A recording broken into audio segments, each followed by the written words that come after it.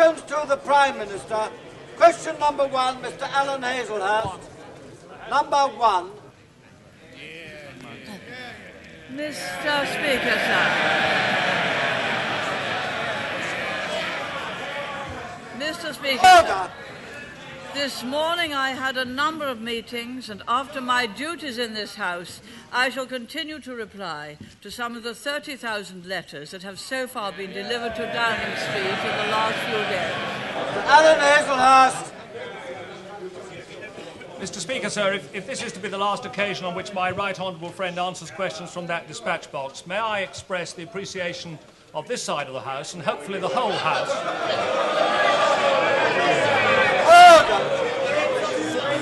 for, for, the, for, for, the, for the skill, command, and courtesy with which she has dealt with questions over the last 11 years from that dispatch box. Mr. Speaker, can I ask my, honourable, ask my honourable friend if she is aware that Stansted Airport's new terminal is to open in March of next year, and the main road serving it will not be available until 1995? And the rail link serving it will not be of adequate capacity until that same year. Would she agree that if we are to get more public acceptance for amongst communities which have major developments thrust upon them, it would be better for essential infrastructure to come sooner rather than later? Mr. Speaker, I'm grateful to my honourable friend for his kind words. With regard to Stansted, it is of course close to the M11, and I understand that the British Airports Authority is building a dual carriageway road to connect the new terminal to the M11, and that that should be ready by March next year. And also, I understand that British Railway has, is building a track to connect the terminal to the Liverpool Street station and has already ordered rolling stock, and that too should be ready by March next next year. So I hope that will satisfy the last question to my honourable friend that I shall answer. Mr. Neil Kinnock. Speaker. Mr. Speaker.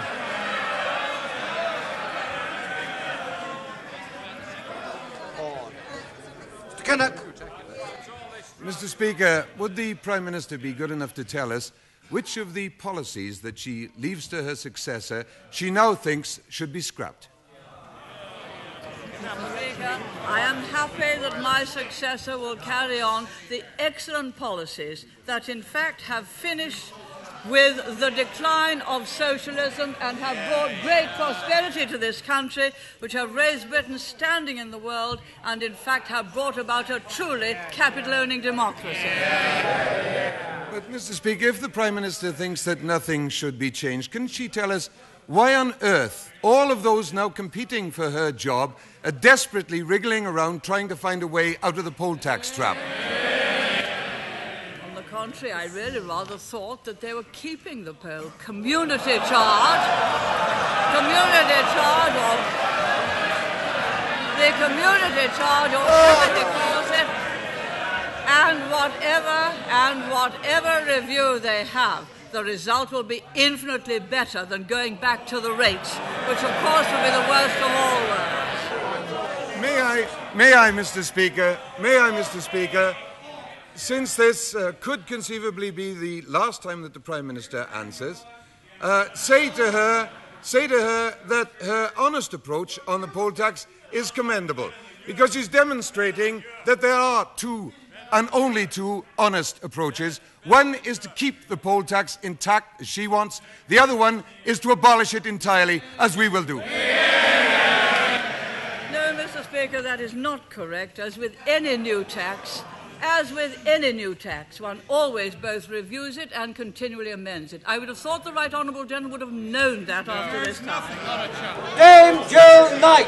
Mr. Speaker, may I voice the, may I voice the profound regret of millions in this country and thousands of millions outside it that my right honourable friend is not to continue in her high office and ask, and, and ask, and ask if she is aware of their acknowledgement for her unrivaled service in turning back the tide of socialism, in ending in ending the brutal tyranny of the militants in the trade unions and in re-establishing Britain as a great power. And finally, can I ask her to reflect? And finally, Mr. Speaker, Order, order. The Honourable Lady's coming to an end. and finally, Mr. Speaker, can I ask her to reflect, to reflect with pride that a thousand years from now, when everyone else in this house is dead dust, she alone will have her hallowed name in the history books. Mr. Speaker, I'm very grateful to my honourable friend for her generous tribute. I am certain that the Conservative constructive policies will continue and that they will lead to a fourth election victory. Mr. Jim Molyneaux. Does the, does the Prime Minister recall an important debate in November 1985 when relations between us were a little strained? Does she recall that I used these words addressing her in that debate? Millions of our fellow British citizens throughout this nation feel that the Prime Minister has a lasting contribution to make to the destiny of this nation. Is the Prime Minister now aware that the vast majority of those people would wish that contribution to continue? The right honourable gentleman, right honourable gentleman is very generous indeed.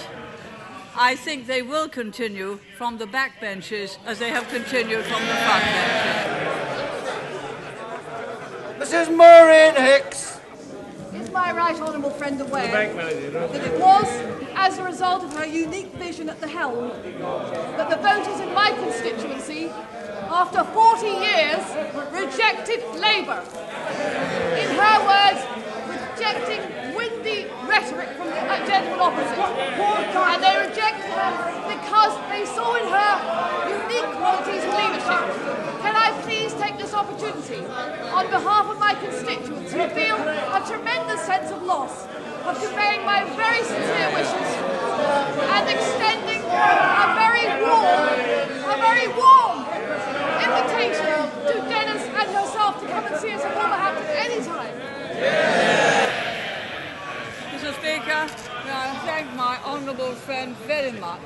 I think our policies since 1979 have built a new opportunity Britain which can hold its head high in the world of international affairs and I'm sure those policies will continue and we shall all pull together to ensure that they do. Mrs. Rosie Barnes. Order. All right, all right, all right. That's very impertinent of the honourable gentleman. Miss Alice Mahon. I refer the honourable lady to the reply which I gave some moments ago. Alice Mahon. Prime, does the Prime Minister agree with her friend, the Honourable Member for Cirencester and Tewkesbury, when he said in the debate last Thursday that her forced resignation had been brought about by an act of treachery by, on the behalf of some of her colleagues? Mr. Speaker, I have resigned and there will soon be a successor. I wish him well. I am sure he will continue the policies which have been so successful, been so successful for Britain, and he will continue to defeat socialism. Mr. Thompson. Will my honourable friend, right honourable friend, come very soon to Calder Valley, where she will find, where she will find an industrious, prosperous, and happy community, and they will say to, me, to her what they've said to me all weekend. She's been a good un. Mr. Speaker, I think after that I must go to Calder Valley. I shall look forward to it. Mrs. Rosie Barnes. Number four, number four, sir. Refer the honourable lady to the reply which I gave some moments ago. First of all, may I pay a warm tribute to the Prime Minister for her courage and dignity over recent days. Given that the leadership of the Tory party may be decided by a third ballot using a system of transferable second preference votes, would the Prime Minister not reconsider the merits of this system for national elections? I'm sure the Honourable Lady will understand that I'm all for first past the post. David Wiltshire! Num- num- Mr. David Wiltshire, number five. number five, sir. I defer my honourable friend to the reply which I gave some moments ago. Chop! Mr. Speaker, as this could well be one of the last tabled questions from a Conservative to my right honourable friend, could I take this opportunity to ask her whether she knows how many questions she's answered in her capacity as Prime Minister? Could I ask her to accept the heartfelt thanks of all her many friends inside this House and outside, especially all those in my constituency of Spelthorne? And could I say to her and to Dennis, every good wish for the future and God bless. Mr. Speaker, first, this will be the last question time where I shall answer. I don't believe in making a career of positively last appearances. May I thank, uh, may I thank my honourable friend for the kind words, especially uh, about my husband, and thank him also for giving me notice about the question because I might not have known the answer. It is, his is the 7,498th oral question that I have replied to in 698 question time. David Winnick! Six, sir. I refer the honourable gentleman to the reply which I gave some moments ago. Winnick! But doesn't, Mr. Speaker, doesn't the Prime Minister find it at all nauseating and hypocritical to be so much.